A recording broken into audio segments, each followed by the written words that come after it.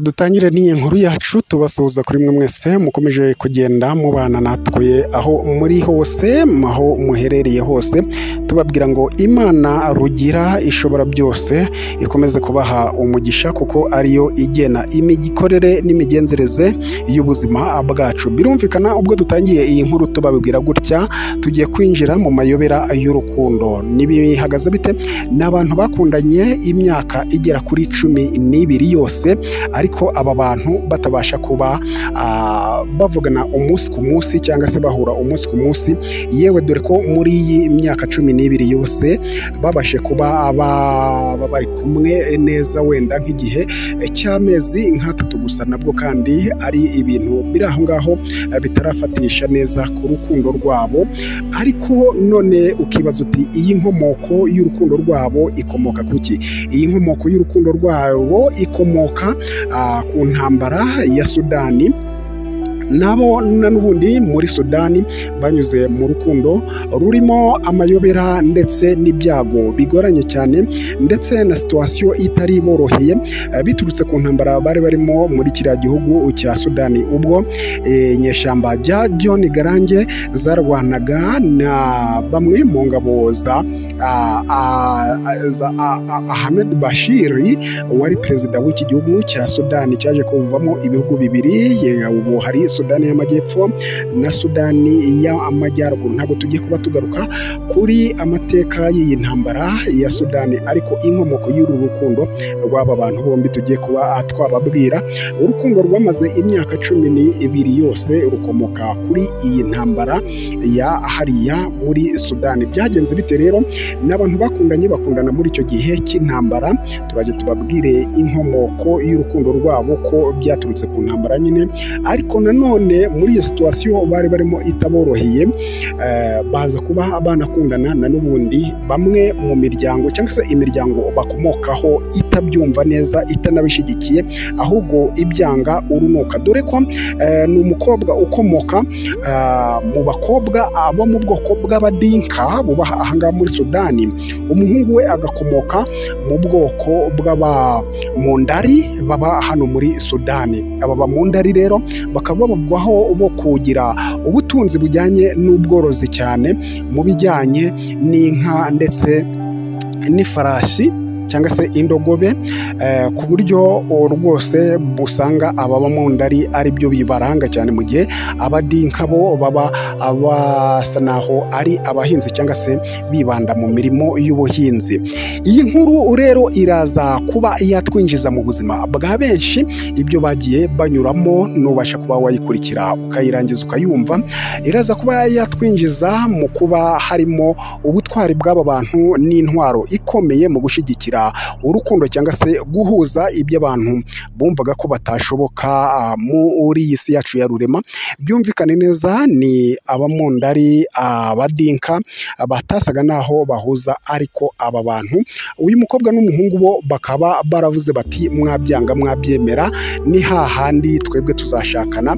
Ntago uzava iwacu mu muryango w'iwacu ngo uze kunyica kubera ko nashatse umumandari. Undi nawe ati ntabwo uzava iwacu ngo uze kunyica nashatse umudinka. Gatoya ni intambara tunyarukiraho ya sudani yatangiye mu gihumbi kimwe magana cyenda mirongo inane ngira ngo niba ari na gatatu. Hanyuma uyu musore yaje kuba yarokorwa n'uyu mukobwa wari uri mu ngabo eh, z'abirabura barwanaga n'abarabu hariya muri sudani.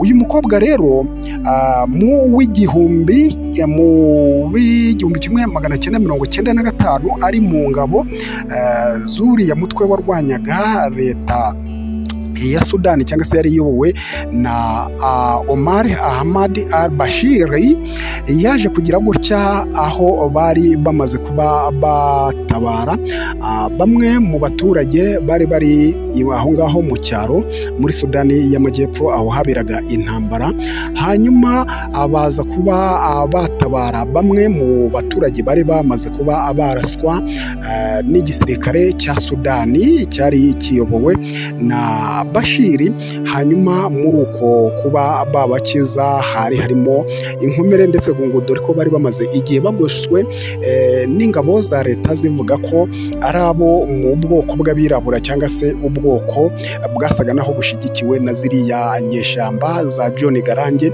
Uyu ni John Garange waje kuba yakwitaba Imana akorerwa mu ngata cyangwa se asimburwa. Kugeza ubu ngubu na Salva Kiir ah, Mayari uri ku butegetsi kuri ubu ngubu rero muri icyo gihe twababwiye ko intambara yatangiye mu gihumbi kimwe magana cyenda mirongo inane na gatanu bigeze mu igihumbi kimwe magana cyenda mirongo cyenda na gatanu. Nibwo uyu mukobwa yari ari mu mutwe warwanyaga leta ya sudani baje kuba batabara ahantu batabara n'aharimo abaturage bari barashwe n'indege cyangwa se n'igisirikare cyari ku butegetsi bwa Amar Bashir. Hanyuma ah, aza kuba yagera ku muhungu ngo wari warashwe no mu nda ku buryo bukomeye cyane ndetse amaze iminsi eh, atabona ibimutunga urumva yaravaga yari yarashwe mu nda yagize gute? Umukobwa amubonye amushyiraho ukuboko kugira ngo arebe ko yamwegura.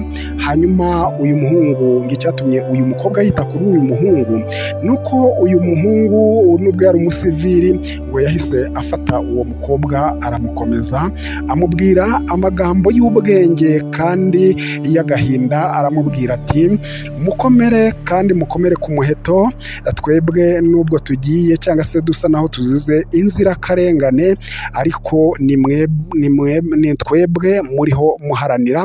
Ndabifuriza kuzagira iherezo ryiza cyangwa se igikorwa mwatangije nubwo hari abatazagisoza ariko abazaba bakiriho cyangwa abazagisoza bazaze kugira ubuzima bwiza bibabere amateka ku guharanira abirabura muri sudani y'amajyepfo. Ati na n'ubundi kandi simbabajwe nuko ngewe ngiye ahubwo mbabajwe nuko naba ngiye ntarebye ibyifuzo byanyu eh, by'imigambi mwateguye iherezo ry'icyo mwifuza uko byazagenda ariko mbaragije imana ngewe ntacyo numva nkiramira nta n'icyo bikimbabajeho ahubwo ngusabiye imigisha ku mana uzarangize iyi ntambara ubwo yabibwiraga uwo mukobwa kandi nabwo nutagira iherezo ryo kwe- ryiza ryo kuyirangiza eh, nkuragije imana uzatabaruke amahoro.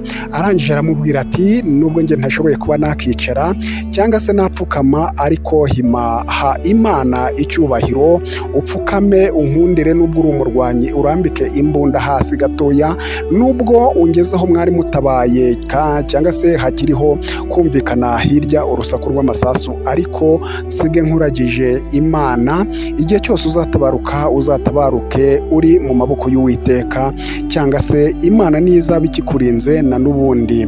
Uzabeho utunganiye imana nk'uko mwagize umutima wo gutabara inzirakarengane. Hanyuma uyu mukobwa yamuhereje ikiganza aremera arapfukama ngo amusengera iminota itageze muri ine dore ko n'ijwi rye ritasohokaga neza umuntu wari warakomeretse mu nda. Hanyuma kandi adaheruka no kurya hanyuma uyu mukobwa nubwo yari ari mu ngabo zari zitabaye abo basivili yaje kuba yasigwa inyuma kuri abo basivili ndetse eh, bamusiga ari uwo kwita kuri bagenzi be b'abasirikare bari barashwe kugira ngo bajye babamenyera imibereho kubafurira kubagaburira kumenya buri kimwe cyose mbese nk'urwaje umurwaze umurwayi. Yaje kuba rero uyu mukobwa yakwita no kuri uwo muhungu. Hanyuma yegera muganga wavuraga bamwe mu ngabo bari bari kumwe cyangwa se mu nyeshyamba bari bari kumwe aramubwira ati birakwiye ko uyu muvandimwe wanjye nubwo turi kwita kuri benshi ariko nawe wamwitaho. Ibyo byose ngo yabikoze biturutse kumva mba mutima cyangwa se ku kiniga cy'ibyo baganiriye amusa naho amusezeraho kandi ataramuzi. Uyu mukobwa rero yakomeje kujya arwaza bagenzi be bakomerekeye ku rugamba. Rugamba ariko na n'ubundi umutima awushyira kuri wa muhungu aravuga ati byanze bikunze nawe ndakwitaho. Uko yasaguraga ibyo kurya dore ko uyu muhungu twababwiye ko yari ari muri bamwe mu baturage twavuga ko ari impunzi zari zarashwe eh, z'aho ngaho we ntabwo yari ari muri iyi ntambara yari ari umusivili. Hanyuma uyu mukobwa akomeza kugenda amwitaho. Bike bibonetse ku barwayi bo muri uwo mutwe warwanyaga leta bibonetseho agasagurira uwo muhungu. Anari nako ahendahenda dogiteri ati ita kuri uyu muhungu ni umuvandimwe wanjye. Ndetse uretse n'umuvandimwe wanjye atangira kuba kugira ngo dogiteri amwiteho noneho abishishikaye aramubwira ati uyu nguyu ubundi yari na fiyanse wanjye. Kubona agenda nanjye ntaho naba nsigaye. Bituma dogiteri koko amwitaho umuhungu yaje kugenda yoroherwa kugeza ubwo yajyanywe ahari hari ibitaro bikomeye aravurwa arakira. Nguko uko uyu muhungu mu mezi atatu yarwariye aho ngaho uwo mukobwa yari ari baje kugira byinshi baganira urumva ni mu ni mu igihumbi kimwe magana cyenda mirongo cyenda na gatanu muri ayo mezi atatu bagira ibyo baganira uko yagendaga yoroherwa yumva aramukunze n'umuhungu aramukunze n'umukobwa aramukunda aramubwira ati rwose ngewe nubwo uri ku rugamba nkaba ngiye kureba cyangwa se nabonye uburyo mbona imiryango eh, dore ko HCR n'indi miryango yakomeje kujya igenda ishakisha abaturage bari mu byago muri kariya gace icyo gihe hanyuma bakabajyana kuba babavurira ahandi. Aramubwira ati ngize imana mwaramvuye ndorohewe nshoboye kuba nakwigenza cyangwa se kugira gute ariko mbonye ubuvuzi bwa bw'imiryango mpuzamahanga bujya gutuma ah, banyitaho ku buzima bwanjye. Wenda nkaba nakira kuko icyizere cyo gukira kiri kugaruka ariko nifuza igihe icyo ari cyo cyose nazaba nkiriho kuzumva ngutegereje ukazagaruka amahoro tukongera tukaganira byinshi eh, ku bijyanye n'uko eh, tubona cyangwa se nabonye imbamutima yawe ufite umutima ukunze n'umukobwa nawe yaramubwiye ati genda uko ariko kose namaze kumenya aderesi yawe n'iy'umuryango wawe n'ahantu uvuka noneho ngewe igihe icyo ari cyo cyose nintabaruka amahoro nzaza nkurebe twongere tuganire.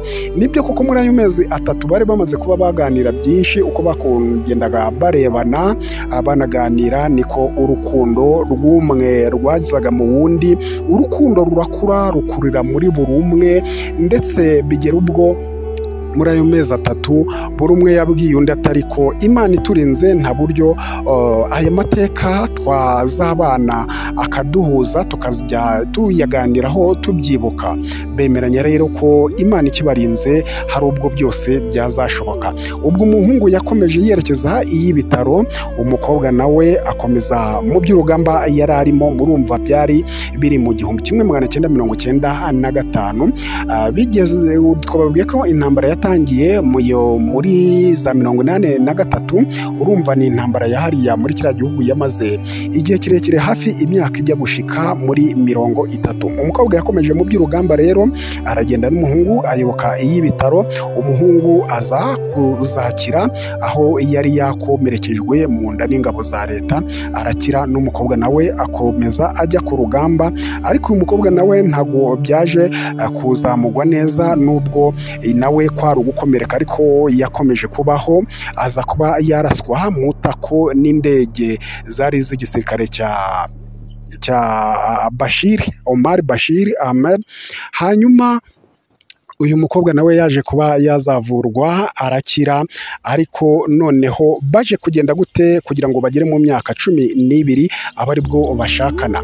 Ah, uyu mukobwa nyuma yaho uko intambara cyangwa se ziriya nyeshyamba zari ziyobowe na Salva-Kiir wari wakorewe mu ngata cyangwa se wari wacunguye eh, John Garange wari wamaze gukora impanuka y'indege avuye mu nama muri Uganda agasimburwa na Salva-Kiir uko bagendaga bagaruza ibice byinshi ahangaha muri ubu butaka ah, bwa hariya muri sudani niko rimwe na rimwe eh, intambara yasaga naho igenda yoroha. Hanyuma baba muri iyo situwasiyo noneho umukobwa rimwe aza kugira gutya yarakize nawe aza guhiga wa muhungu kubera ko yari gushakisha uwo muhungu kuko nyine nk'uko maze kubibabwira yari yaramenye agace k'iwabo yaramenye n'imiryango y'iwabo. Icyakora yaragiye aramubona. Mu nkambi bari barimo dore ko batari bagasubiye mu byabo. Hanyuma aragenda baraganira ariko imiryango y'umuhungu iza kuba yabimenya. Hanyuma itangira ibwira umuhungu ko badashaka ko yazashakana n'umudinka ariko umuhungu aza kubabwira ati kuba nkiriho ni uwo nguwo muvuga kuba mwivugisha ibyo ngibyo mubona uwo mubibwira ari we ngewe ubuzima ndabukesha we ibyo mukinamo ntimukazane iby'ivangura mu bintu by'urukundo mutazi iyo byatangiriye. Uyu muhungu ntabwo yumvishwe n'umuryango we ku buryo umuryango we wahise usa naho uvuga uti eh, kwanga kutwumvira ni ibyago kuri wowe nawe arababwira ati ibyo yankijije ni byo byari birebire kurusha ibyo mwanteza. Ahangaha umuhungu yahavugiye amagambo aremereye cyane ku buryo n'umukobwa yabimenye. Umukobwa aza kumubwira ati ese none niba batabyifuza byagenda bite? Hanyuma umuhungu aramubwira ati aba asibo mana yacu ahubwo bihorere. Ariko nanone ku ruhande rw'umukobwa nawe yari yabibwiye ab'iwabo baravuga bati rino ntabwo bishoboka ntabwo. Kugeza ubu ngubu eh, abadinka n'abamundare ntabwo tujya turebana neza ntabwo bikwiye rwose nubwo eh, twese turi muri iki gihugu cyangwa se dusa naho twahuriye muri iyi ntambara tugaharanira ubwigenge ariko hari ibijya bitaduhuza. Uyu mukobwa nawe yaravuze ati ibyo ni ibyanyu na n'ubundi niba twese turi muri iki gihugu turi abirabura kandi no ku rugamba tukaba twarashize hamwe nimwijya mukomeza korora ibimeze gutyo. Hanyuma iwabo w'umukobwa nawo ntabwo babyumvise neza umukobwa icyo akora yabashije kuba yakwandikira umuhungu aramubwira ati wowe komeza intego yawe nanjye ndayikomeje. Ubundi amahoro naboneka kuko nsubiye ku kazi tuzabiganiraho. Nta kibuza ubwacu tuzashakana. Yaragiye rero eh, nihutishe inkuru nuko kuva mu w'igihumbi kimwe magana cyenda mirongo icyenda na gatanu uyu mukobwa ari umusirikare atarabona uburyo bwo gukora ubukwe kubera ko hari mu ntambara yaje kuba yakora ubukwe n'uyu muhungu mu w'igihumbi mu w'ibihumbi bibiri na gatanu bisa naho amahoro asa naho abonetse muri sudani y'amajyepfo. Hanyuma urumva imyaka cumi n'ibiri yose yari ishize banyuze mu rukundo rutari rworoshye eh, urukundo rwakomotse ku ntambara urukundo rutifuzwaga n'imiryango yabo bombi bakomokamo ariko baza kuba bashakana.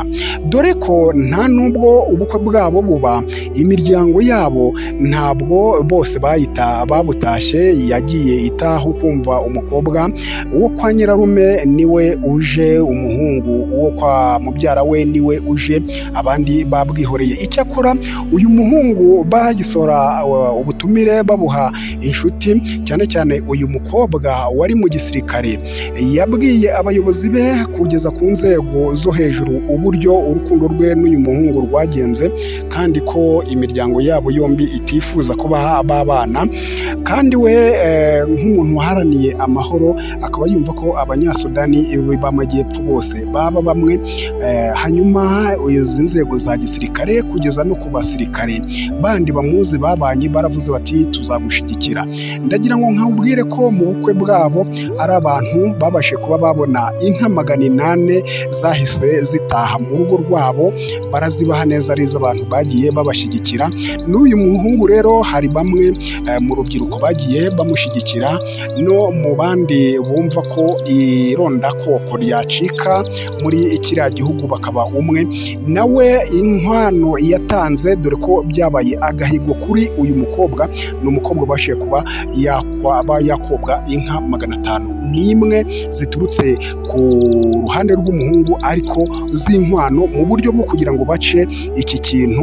Eh, abatangaga izi nka bazitangaga kugira ngo bereke eh, ibishobora kuba byakorwa kugira ngo eh, icika ry'amoko ahangaha muri sudani y'amajyepfo ribe ryahagarara biba igitangaza n'inyigisho iremereye cyane eh, eh, hariya muri sudani y'amajyepfo eh, inyigisho yabayemo ni uko aka gahigo ko gukobwa izi nka zose zatanzwe ari impano eh, bahaye umuhungu ngakwe umukobwa ari n'izo babaremeye zigera muri magana inani na n'ubundi zahise zitaha mu rugo rwabo bitangaza abantu benshi bari batuye muri aka gace cyangwa se aho ubu bukwe bwabereye ariko bibasigira inyigisho no kwiyubaka kw'abanyagihugu bahurije hamwe cyane na n'ubundi ikindi cyatangaje ni imyaka cumi n'ibiri bakundanye kandi batari kumwe cyangwa se batabonana.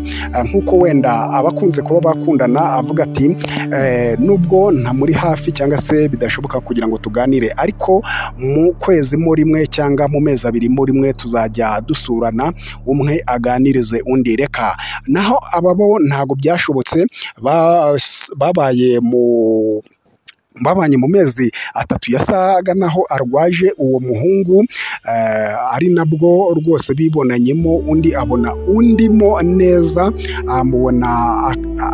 amubonamo akana mu jisho hanyuma ba urukundo rurasabagira nubwo bari muri situwasiyo itameze neza umwe yari ari muri situwasiyo y'uburwayi yararashwe nubwo yagendaga yitabwaho nk'uyu ni umukobwa nk'uko twabibabwiye undi nawe uwo mukobwa ari nako yitaho kuri bagenzi be bari bararasiwe ku rugamba ariko uru rugamba ruza cyangwa se iby'intambara biza kuba byabahuza rero ni amateka kuri ubu muri sudani y'amajyepfo ku bikomoka ku rukundo rw'intambara rwamaze imyaka cumi n'ibiri abantu bakongera bagahura batare ba- bari baherukana mu mezi atatu yabanjirije ukumenyana kwabo.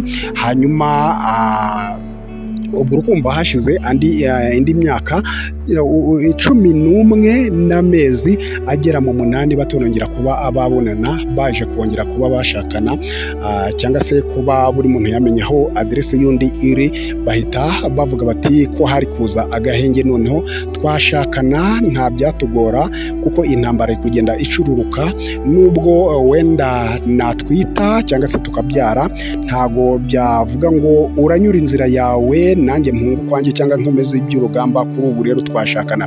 Ni umuhango rero witabiriwe igihe bashakanaga muri bibiri na gatanu witabiriwe n'abayobozi benshi cyane b'igisirikare cya hariya muri sudani y'amajyepfo ndetse n'abayobozi eh, mu nzego za gisivili nkuru kubera amateka y'uru rukundo rwanyuze mu nzira iremereye cyane rukomotse ku ntambara rujya no mu buryo imiryango itabyumvaga ariko biranga bibu by'ubusa barashakana nyuma y'uko rero iyi miryango yabonye eh, aba abahungu babaremeye uyu muhungu n'umukobwa babaremeye inka magana inani ndetse ku ruhande rw'umuhungu inka magana atanu n'imwe zigatangwa na n'ubundi ari iz'impano yo gushyigikira urukundo rwabo no gusenya ukutumvikana cyangwa se ironda koko ryari rihariya muri sudani y'amajyepfo eh, zigatangwa bikaba agahigo byatumye iyi miryango na yo itekereza kuri icyo kintu yo ubwayo na yo irahamagarana eh, turavuga ku miryango y'umukobwa n'umuhungu baravuga bati ibyo twarimo mureke natwe tugana abana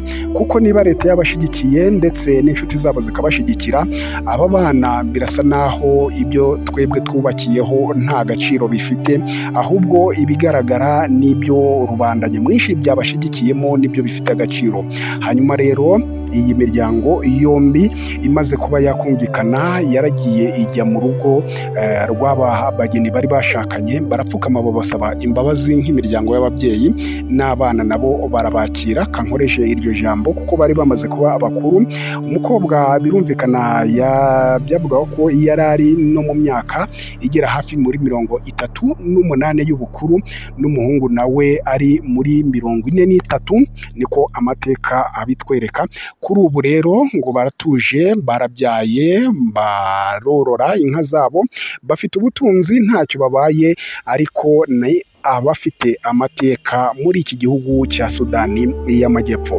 Reka tubashimire ari nako dukomeza kubararikira gukomeza kubana natwe kuri byinshi bigiye bitandukanye ku mateka abera hirya no hino.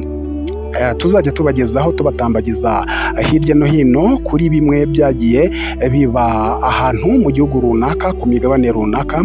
Icyo musabwa mwebwe ni ukubana natwe ariko mukora sakusurayibu ari nako kandi musharinga bimwe mu biganiro n'amakuru yacu tugenda tubagezaho.